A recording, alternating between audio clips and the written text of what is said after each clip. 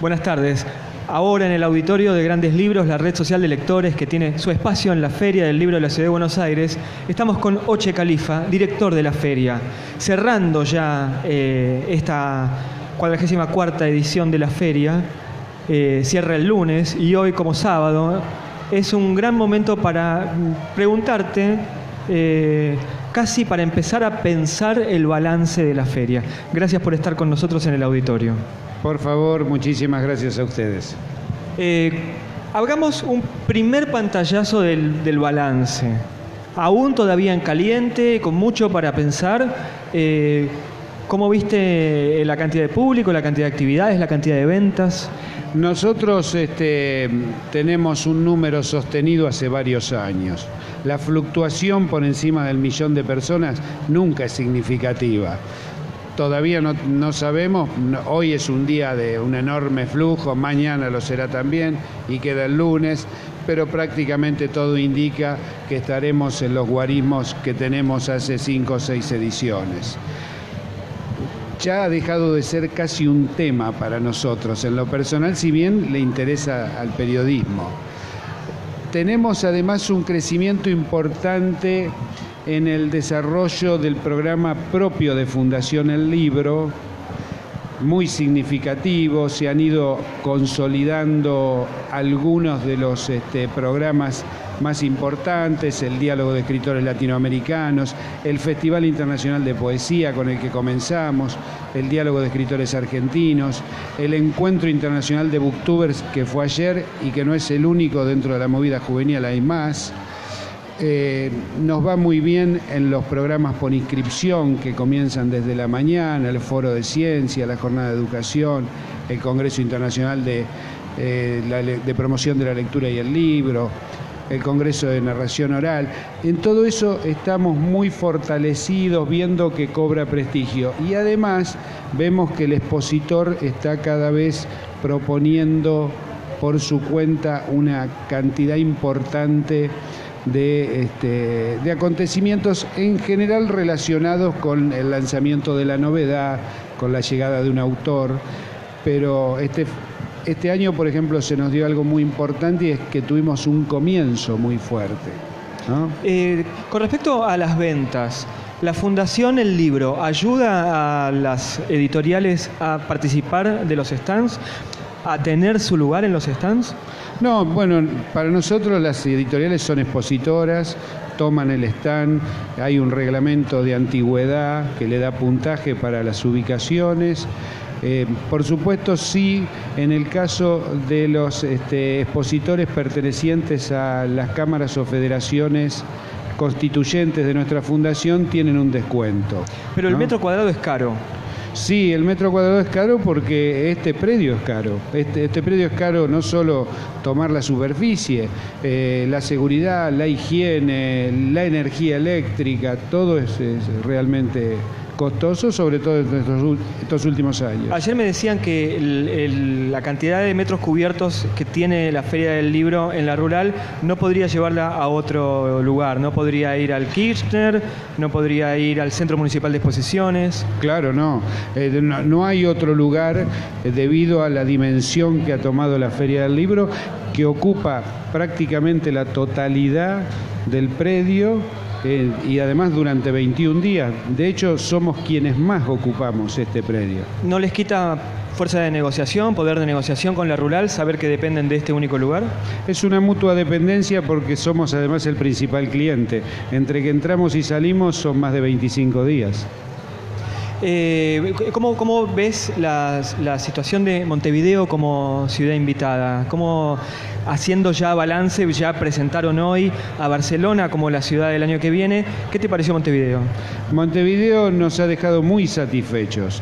La verdad es que han hecho un desembarco en nuestra feria de alta calidad, con un programa cultural inteligente, con ideas. Todavía queda que mañana venga Leo Maslía a, este, a homenajear a Mario Lebrero. Es decir, eso es un ejemplo de lo que es poner Mañana tenemos a la familia de Lebrero acá. Bueno, qué suerte.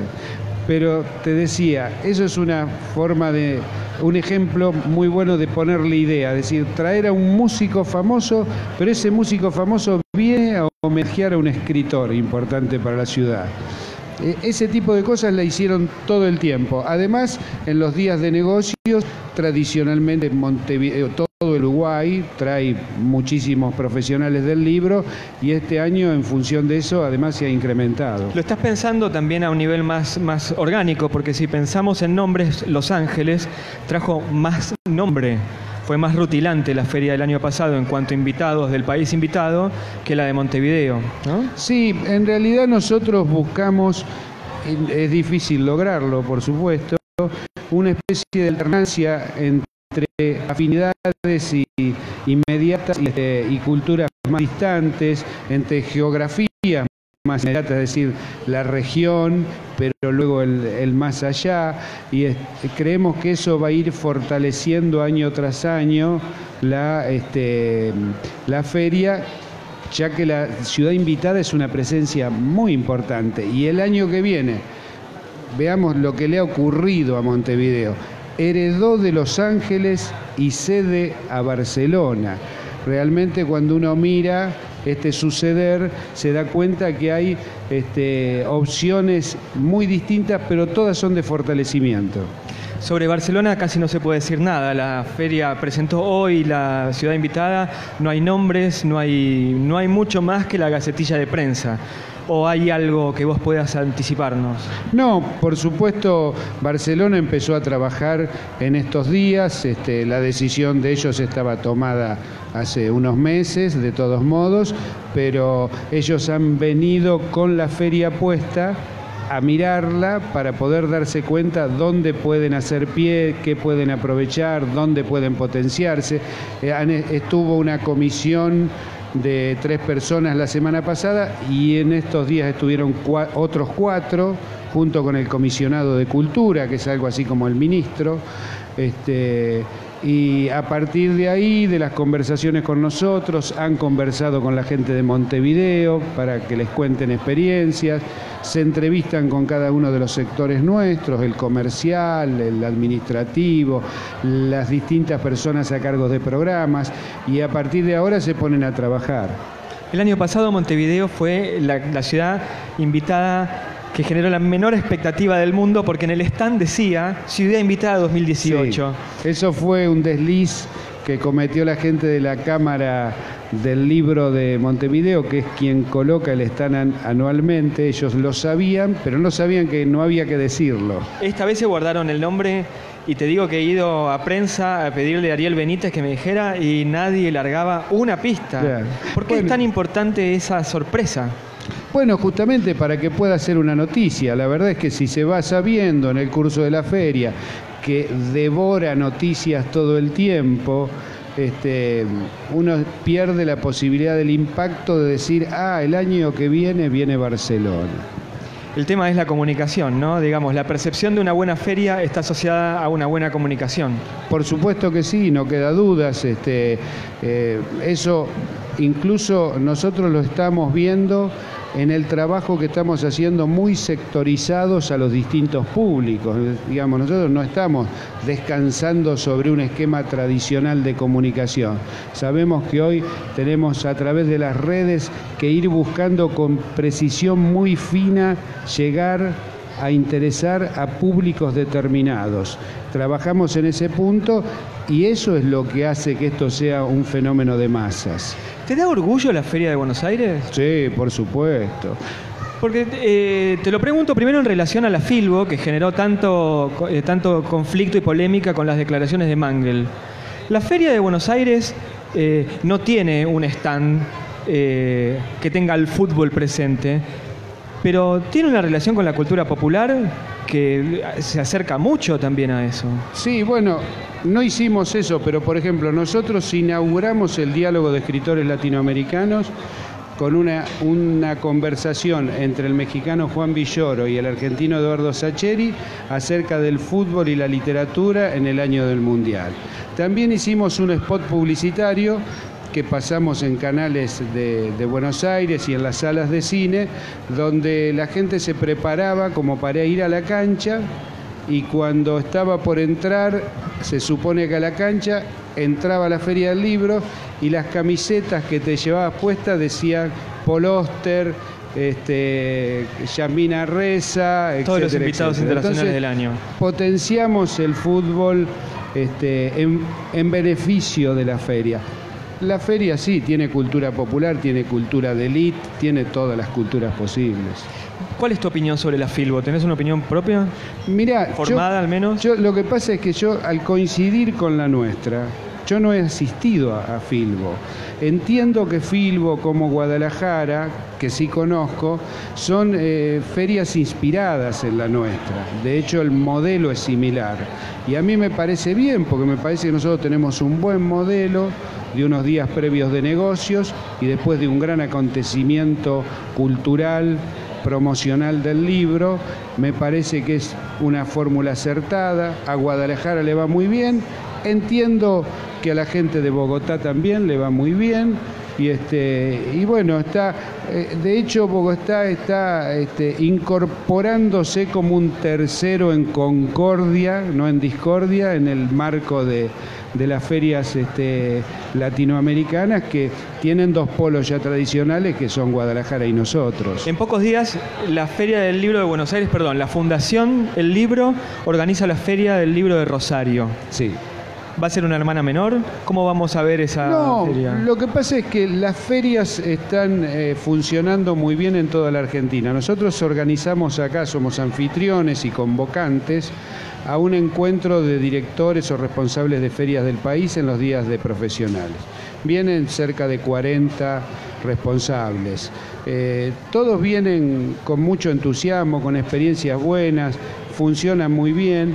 Y Rosario, una capital importantísima de la cultura, eh, con un potencial y un desarrollo propio este, muy destacado, hacía 10 años que no tenía feria.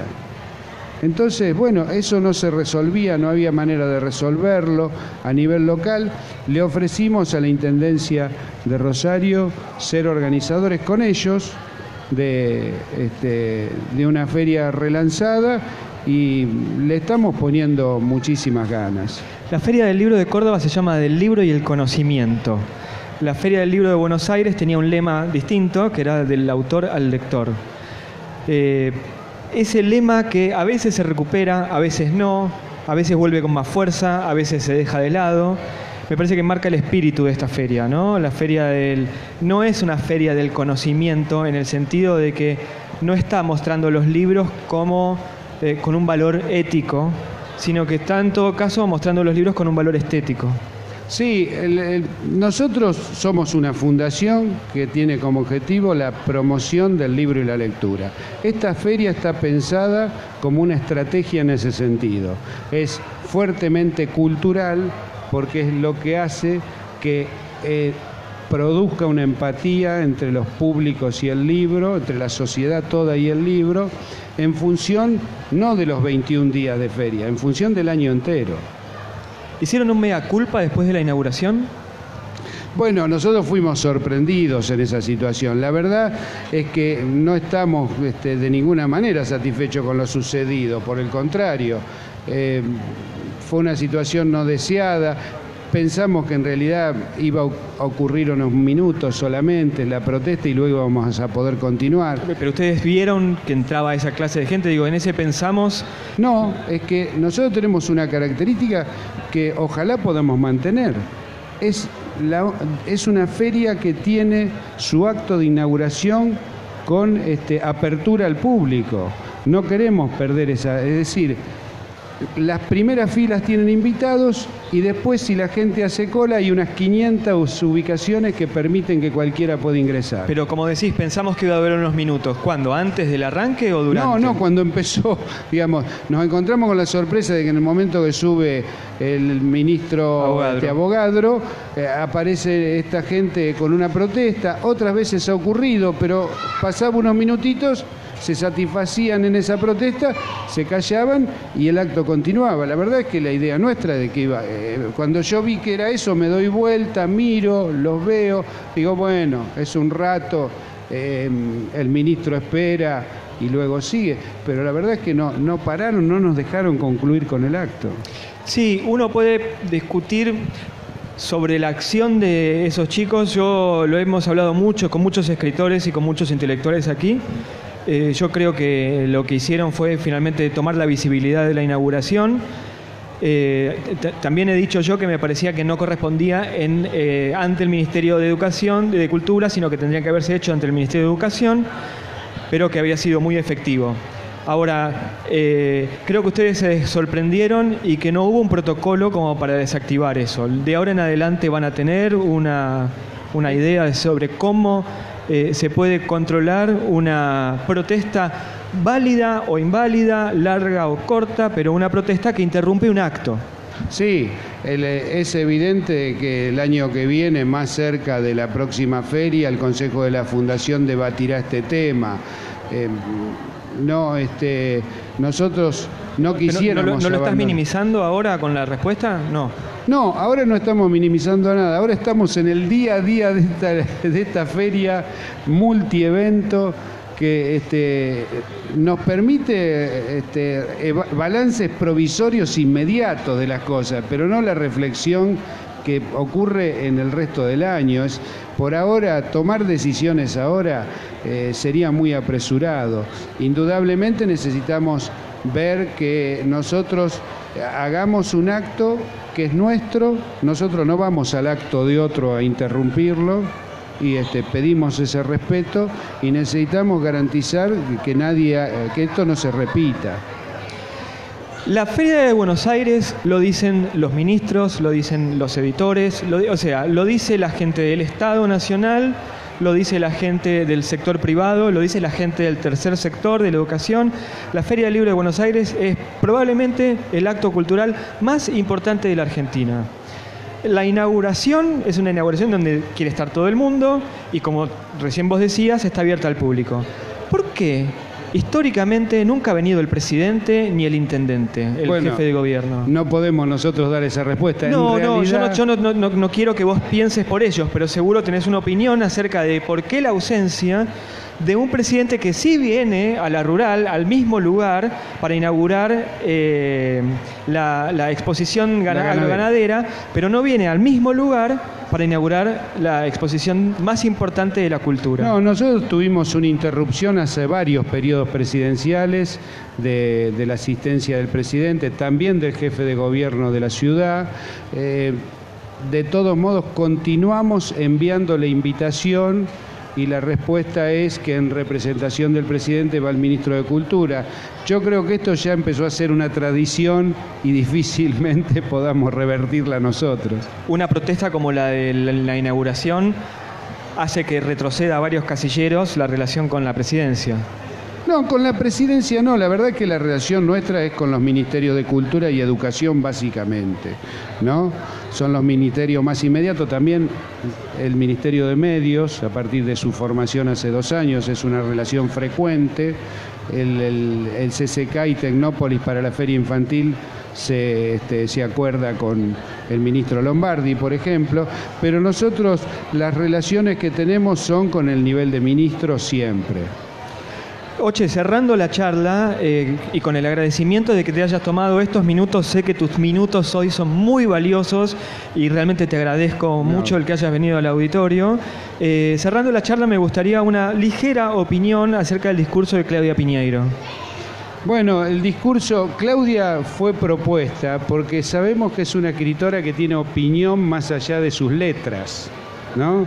Entonces, eh, damos por hecho que ella iba a tener una opinión fuerte, importante e incluso de varias aristas.